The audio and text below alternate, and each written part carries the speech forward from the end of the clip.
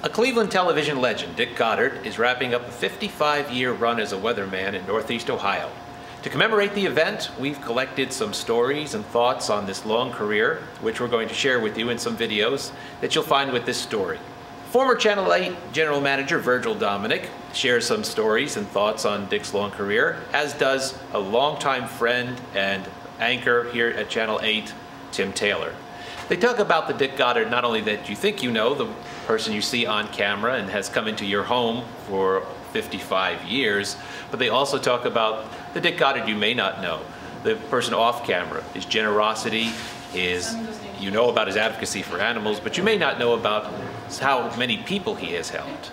And you will find out about that by listening to what Tim Taylor and Virgil Dominic have to say.